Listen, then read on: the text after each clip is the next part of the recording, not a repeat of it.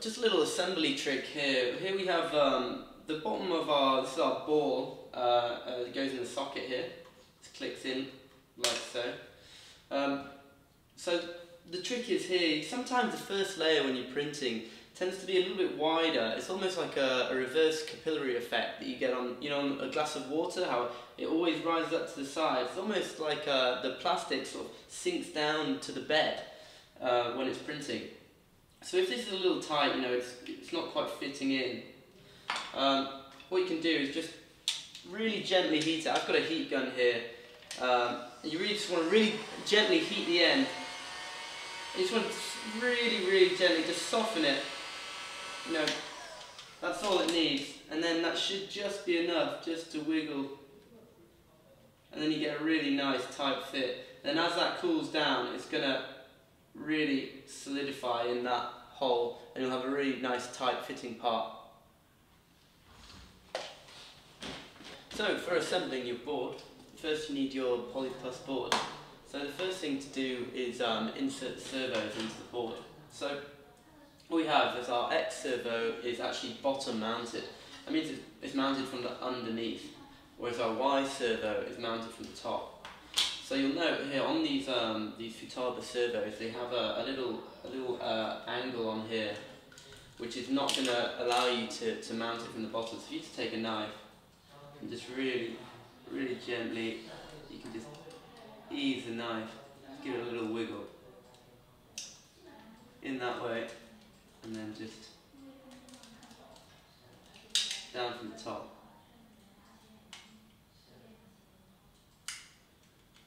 And then on the other side, just repeat the process.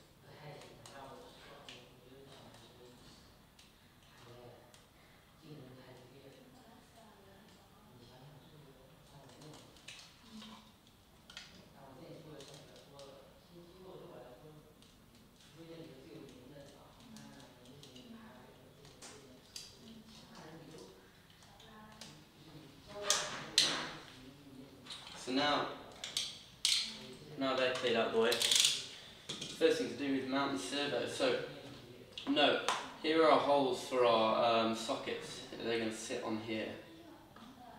So the, the, the servo, um, the, the pivot of the servo wants to line up behind on the X. So that goes in there. And you want to take your M3 bolts, M3 by 10,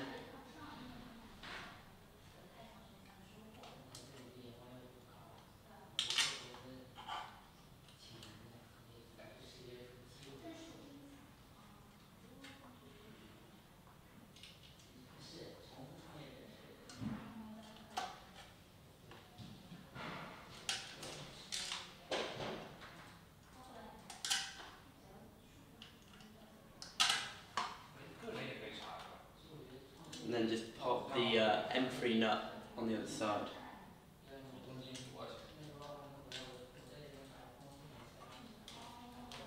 So just quickly tighten, tighten up, just finger tight.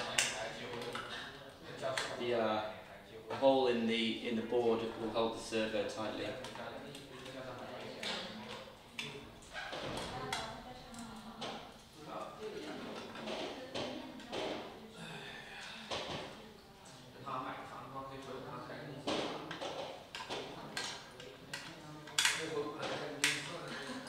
Okay, so that's our first one in. Next to go is our Y servo. So uh, once again, actually this time, the Y wants to go through the board. So there's a small notch that uh, is designed into the board. This is to allow for the wire, so it means you can't get this one the wrong way around. And then just gently ease the, uh, ease the servo through the board.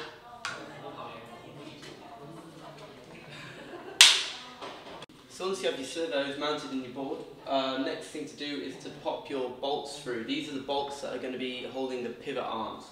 So first we'll start with the, um, the Y at the back.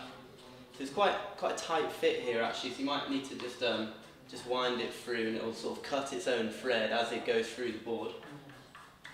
But there's no harm done there.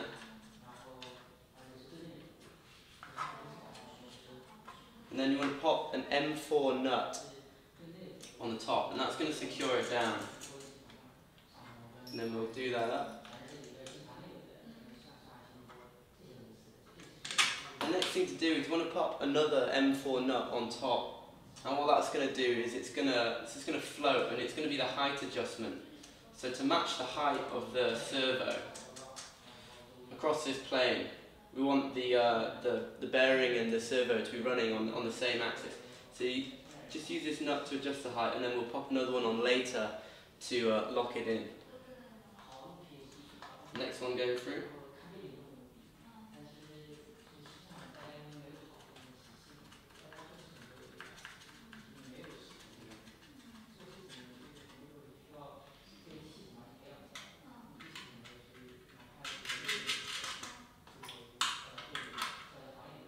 We'll lock that one down as well, and same as with the Y, pop the little floating nut on there. Great. So, once you have that done, pop that to one side. The next thing to do, actually, one more, we'll pop the, the, the sockets on there. So the sockets can go straight on. So these are the uh, M3 by, I'd say M3 by 12 if you have it. i am using M3 by 20, just um, what was available to me, but uh, 12 will be long enough if you can get it.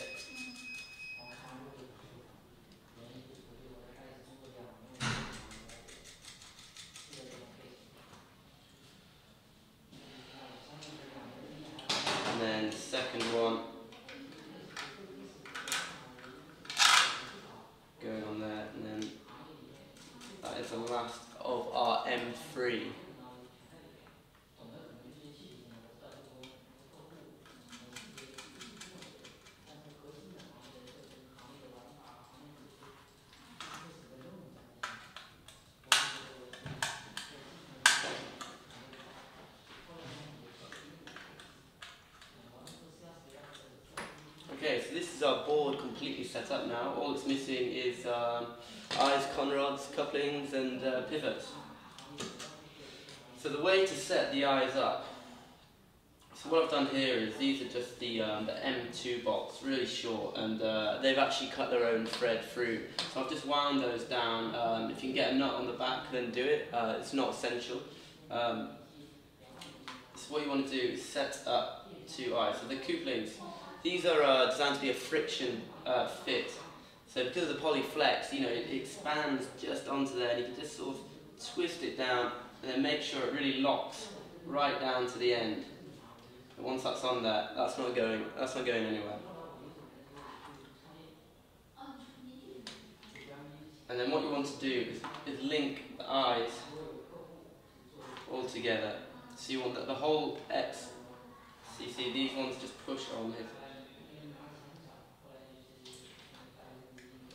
And then just push straight down. And then again, with the Y,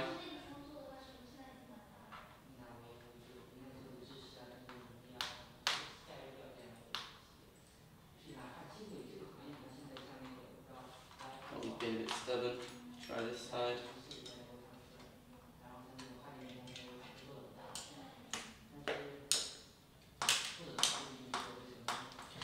Give those a little twist on if you can. And this is why you have to do this step first. Because once the uh, balls are locked into the sockets, you just don't get the play and the movement that you need. So now we have what is effectively our setup. So all we need to do now is just link the two together, uh, bolt the um, servo arm extension onto the servos, the pivots onto the board, and then just click the balls into the sockets.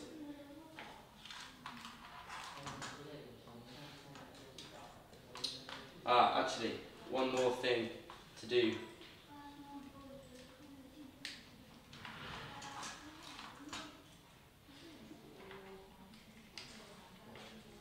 Remember to zero your servos. So what I've done here, just plug the servos in, so they'll find their natural center, and you have a trim here. So you want to move your trim to the to the middle. Uh, and what that does, is it makes minor adjustments to the servos in their resting position. So you want your servos in the resting position, then you can set up your whole Eye Mech, get your eyes looking straight forward, Uh, otherwise, you can set it up and turn it on and they'll just go all cross-eyed. So that's done. You can unplug those now. So next on, the servo uh, arm that comes with the servo. So I know the way that I want to set it up is in a perpendicular to the board.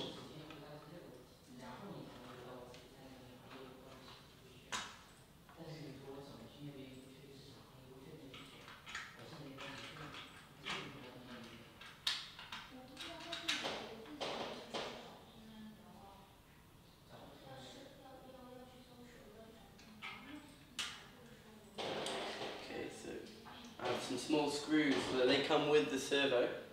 They actually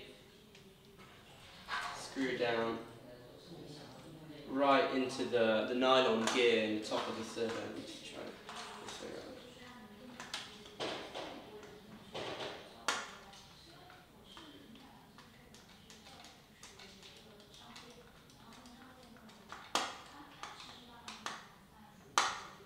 So now we have our two servo arm extensions nicely secured down onto our original servos. So the next thing to do is just really gently, so just watch out here. So while you've still got a bit of flex in the, in the rig, you want to just pop that eye into the, the socket, pop the ball into the socket.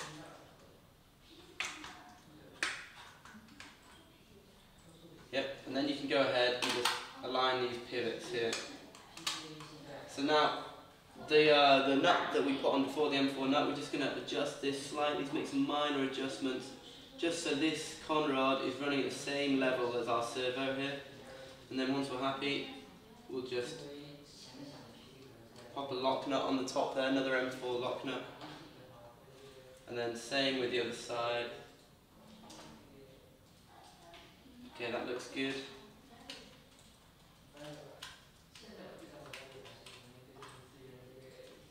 Lock that off. And then you can make some real fine adjustments just to make sure the eyes are exactly the same. Just by just easing in the couplings, either in or out, just a tiny bit, just to make sure the eyes starting at absolute zero. And there we have it. So let's just borrow the legs. So I've included these legs, they're just a, a basic little design, little clip just to hold the board, just to elevate the servo, so you can just play around with it uh, a bit more freely. So they just pop on the side.